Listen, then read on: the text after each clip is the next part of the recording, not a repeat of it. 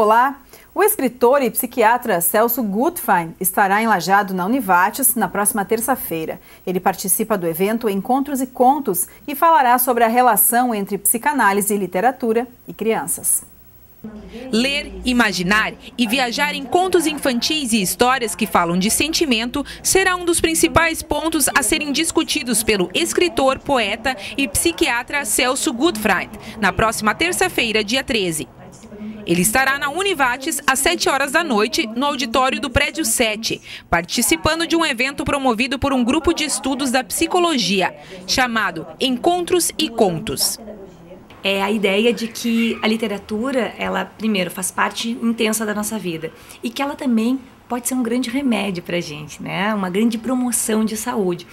Quando ele foi perguntado numa das escolas por que, que ele escrevia, né, uma das crianças curiosa para saber, ele disse, como psiquiatra, né, além de escritor, ele é um psiquiatra, psicanalista, como quase sempre eu respondia contando porque as crianças, diz ele, e os adultos prestam mais atenção às histórias do que às prescrições. É, aí eh, estávamos brincando ontem à noite no, no, nosso grupo de estudos. Imagina que interessante o médico poder prescrever à noite duas crônicas do Luiz Fernando Veríssimo, pela manhã uma do Carlos Drummond de Andrade e ao meio-dia, quem sabe, um pouco de poesia do Mário Quintana. Né? Então brincamos um pouco com isso, claro. Uh, não é como um remédio, na verdade é promoção da nossa vida e a literatura faz isso, né? Contamos histórias sempre e necessitamos delas para poder imaginar e viver nossa vida cada vez melhor. O escritor foi convidado para participar do evento para falar sobre psicanálise e viagens através da literatura.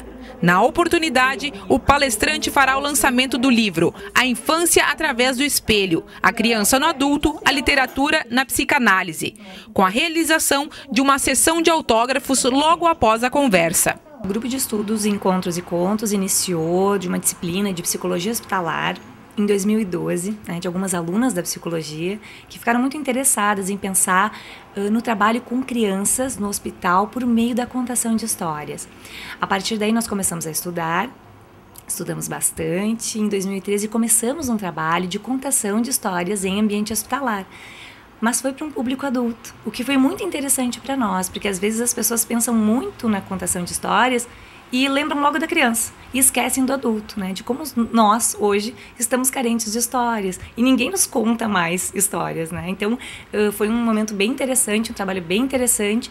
Seguimos em 2014 com mais estudos. A palestra é aberta ao público, mas com vagas limitadas. As inscrições podem ser feitas no atendimento ao aluno da Univates.